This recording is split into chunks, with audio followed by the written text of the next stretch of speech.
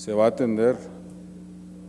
De hecho, en el tema del campo se está yendo la inversión, en el turismo, en educación, y no traiga aquí una mentira, compañeros diputados, o sea, el, tema de la ley de, de abrogar la ley de educación está trabajándose. Y ya hoy en la mañana, escuche las mañaneras, hoy en la mañana el secretario de Educación dio a conocer los 26 puntos que se va, que es que donde el gobierno, el presidente está comprometido a atenderlo. Y sí, la, tenemos que crear un nuevo plan educativo. Y tenemos que tener un nuevo plan de acción para combatir la pobreza. Por eso el combate frontal a la corrupción, el huachicol y tantas cosas.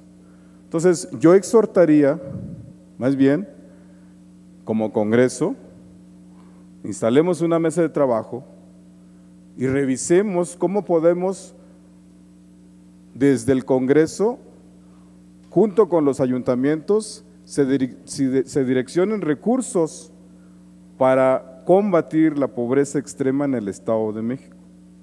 Y lo mismo con el gobierno del Estado, porque el señor de resultados fuertes, pues de entrada, pues solo aparece en, algunas reuniones o en lugares donde está a modo.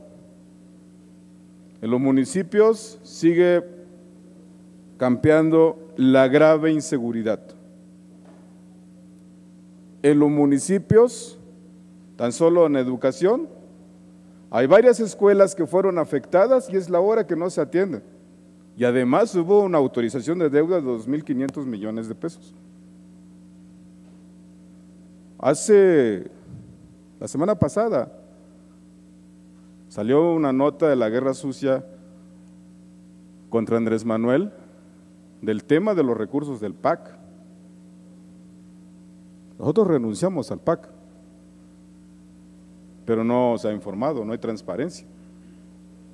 Entonces, creo que dejemos que el presidente que tiene la, trae la camisa remangada con su equipo, dispuesto a limpiar la podredumbre de este país, que haga lo suyo, tiene un Congreso que le vigila, tiene un Senado que le vigila y desde luego tiene la mayoría de la ciudadanía que le está demandando respuesta y lo está haciendo.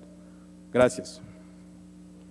De acuerdo con el sentido de las participaciones, tiene el